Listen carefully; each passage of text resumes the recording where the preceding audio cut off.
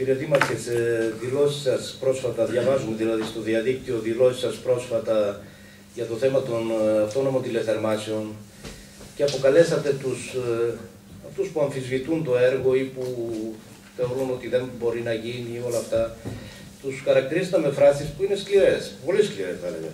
Έτσι, ότι είναι καιροσκόποι και ότι είναι επικίνδυνοι για τον τόπο. Έτσι, εγώ επειδή έχω μια αμφισβήτηση για το έργο και τη δυνατότητα να μπορεί να γίνει να μην γίνει, δεν αισθάνομαι τον εαυτό μου ούτε καιροσκόπο, ούτε επικίνδυνο για τον τόπο. Ούτε και για κανέναν συνάδελφο εδώ αισθάνομαι ότι είναι επικίνδυνο για τον τόπο.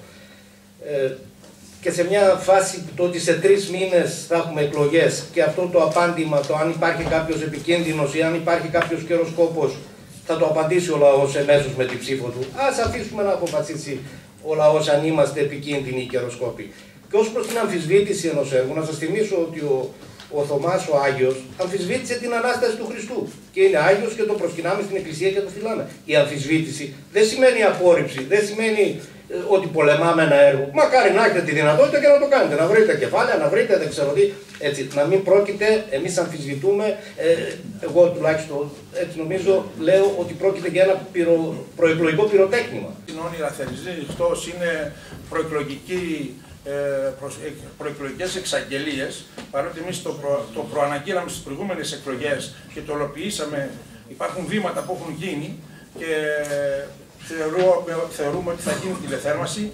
Εσείς δεν μιλώ σε εσάς προσωπικά, δεν έχω εκτός από την δημόσια αμφισβήτησή σας όπως την καταθέτησατε και σήμερα, άλλοι λένε πολύ περισσότερα πράγματα και προσπαθούν να το υπονομεύσουν το έργο και το λέω και το εννοώ και το καταθέτω και σήμερα εδώ.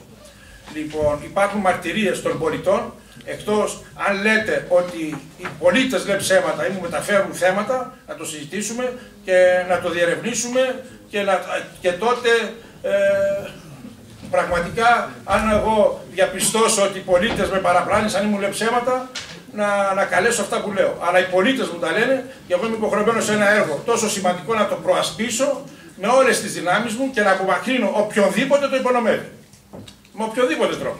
Γιατί για κατά την άποψή μου είναι ένα έργο πολύ μεγάλης σημασίας που βάζει όχι λιθαράκι, βάζει πραγματικά θεμέλια ανάπτυξης και δίνει λύσεις σε πολλά θέματα.